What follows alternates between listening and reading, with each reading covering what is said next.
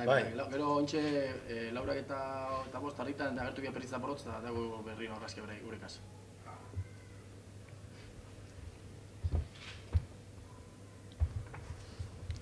Amazazpi urte, izango dira urten, eskoletako jantokiak erregulatzen duen arutegia onartu zenetik.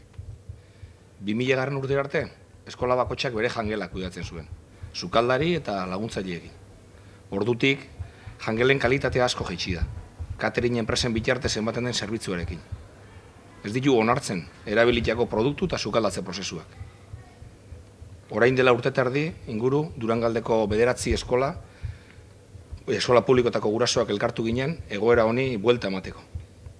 Bidean, itzaldiak, jardunaldiak, sosketak eta bar egiten gabiltza. Gurasoen zintzibilizazioa landu eta instituzioen implikazioa lortzeko. Gure eskoletan bertoko eta sasoiko produktuak, bertan sukaldatzeak, izango lituzken onurak agerikoak dira. Umeen osasunean, bertoko ekoizliengan, inguruko ekonomian, ikasleen hezkuntzan, kutsaduran, eskola komunitatea osatzen duen guztio eta aparte, elkarte eta eragile asko dira aldaketa bultzatu eta gure aldarrikapenarekin bat egiten dutenak. Eige, bige, sortzen eta gure platera gure aukerako kideak dire uretariko batzuk. Gurekin daude gaur ere, babesa erakusteko. Gaurkoan, ekainaen amarrean larun bata, abadinon egingo dugun berton-bertoko jaia aurkestera gatoz. Goizetik iluntzir arte, jolasak, puzgarriak, tailerrak, pintxolagiak eta ikuskizunak, herri baskaria, pirritx forrotx eta marimototx, digibul, jolas kooperatiboak eta askoz gehiago izango dugu. Jai honen aldarrikapen nagusia jantokiak erregulatzen dituen araudi aldatzea da. Baina hortaz gain, gogarazi nahi diegu, jantoki eredunen ardura duten erakundei, batez ere publikoei. Datorren ikasturtetik aurrera, Durangaldeko eskoletan bertoko eta sasoiko produktuak eskaintzen hasteko garaia dela. Egin desatela euren esku dagon guztia. Beste barik, ordoak izue gure gonbitea, ekainaen amarrean. Abadinon, satose, familian gozatzera. Eskola jangela eredu berri baten aldeko jaira. Mm, Este año hace 17 años desde que se aprobó el decreto por el que se regulan los comedores escolares. Hasta el año 2000, cada escuela gestionaba con sus cocineros el comedor con sus cocineros y ayudantes. Desde entonces, pues la calidad de los comedores escolares ha descendido enormemente.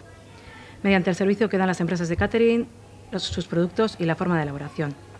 Hace año y medio, madres y padres de nueve escuelas públicas de Durangaldea nos juntamos para darle la vuelta a esta situación. Desde entonces estamos realizando charlas, jornadas, rifas, con el objetivo de sensibilizar a las, a las madres y padres e implicar a las instituciones. Los beneficios que tendría la implantación de productos locales y de temporada cocinados in situ son evidentes en la salud de los niños y niñas, en los productores locales, en la educación de los y las alumnas, en la economía local y en la contaminación Aparte de madres y padres, profesores, profesoras y directores y directoras, AMPAs, OMRs, son muchas las asociaciones y grupos que promovemos este cambio. Hoy están con nosotros eh, compañeras de IGE, VIGE, Sortzen y Gure Platera, Gure Auquera, para mostrar su apoyo a la fiesta que hemos organizado. Hoy venimos a, presen- a presentar la fiesta de Berto en Bertocoa, que celebraremos el día 10 de junio, sábado, en Abadiño. Desde la mañana hasta el atardecer se realizarán juegos, habrá hinchables, talleres, campeonato de pinchos, espectáculos, comida popular, Pierritz Porrocha Tamarimotots, DJ Bull, juegos cooperativos y mucho más. El, objetivo principal de esta fiesta es cambiar el, decreto del 2000.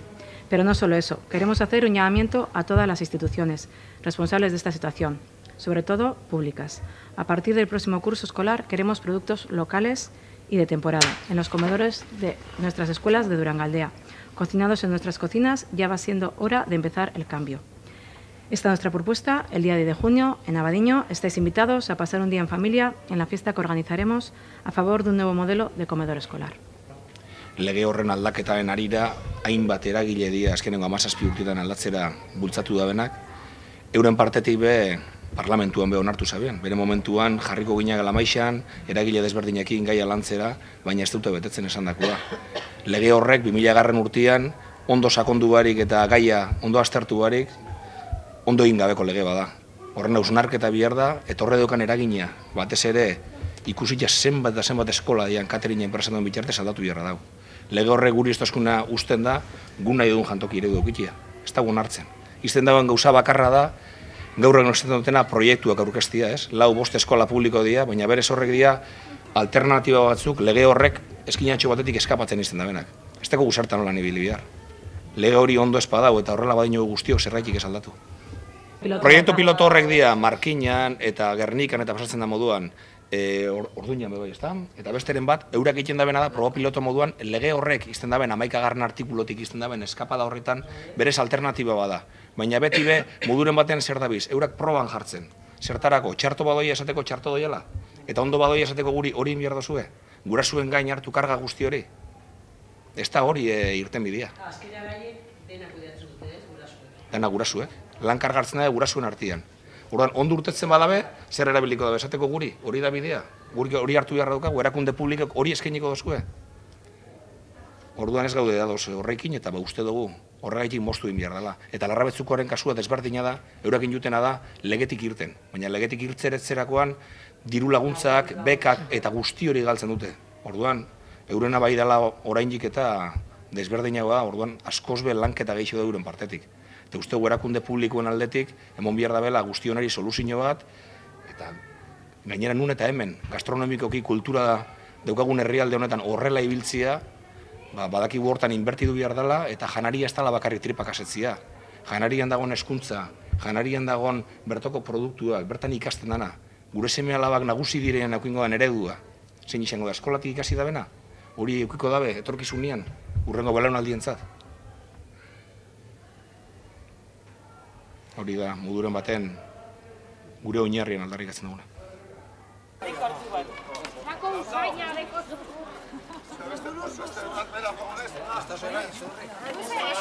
Bai, bai, bai, segi. Venga, primera, antena que segi. Otro gode, hola, otro gode. O sea... Gode. Berton, bertokoa eta sasaikoa. Ekainaren amarean, deno kabaiora! Sabela eta bihotza betetzera!